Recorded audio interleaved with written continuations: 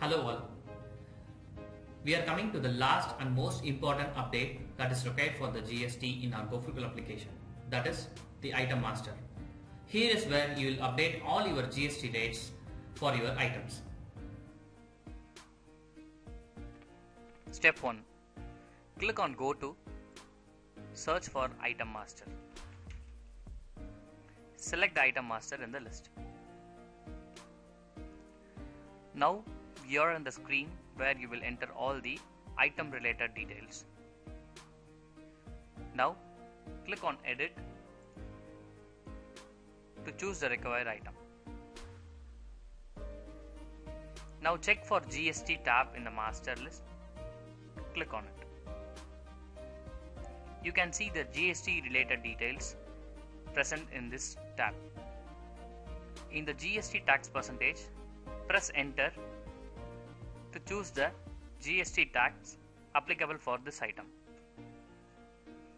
We request you to consult with your tax consultant or supplier to know this percentage for all the items. If any item is applicable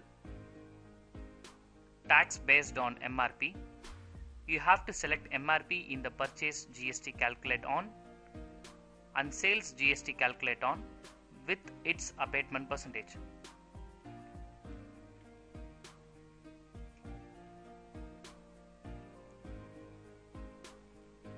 If the items do not calculate tax based on MRP,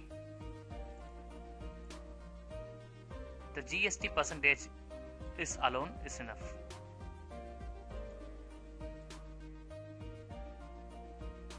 You can save these details now.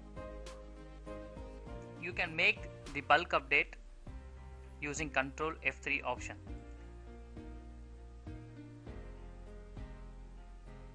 In this screen, for all the items, the GST taxes can be mapped and saved in a single shot.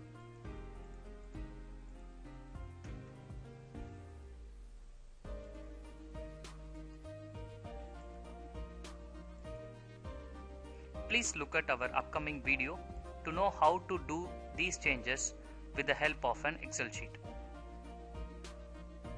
That's great. I hope you have followed the instructions properly to update the required masters in GoFrugal application.